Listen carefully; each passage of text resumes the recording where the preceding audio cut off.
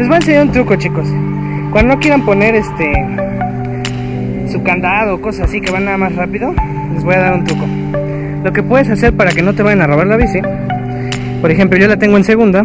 Déjenme ver si ahí ven. Por ejemplo, yo la tengo ahí en segunda. Entonces la jalo a tercera de multiplicación y le muevo una de este lado. No sé si ven, le muevo dos. Entonces, ¿te acuerdas que le moviste a tercera? Pero realmente estás en segunda.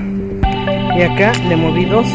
Entonces, si te la quisieran llegar a robar y llega alguien y quiere correr para robártela, a la hora de que empiece a querer acelerar, se le van a traer los cambios y no va a poder acelerar. Eh, bici tip.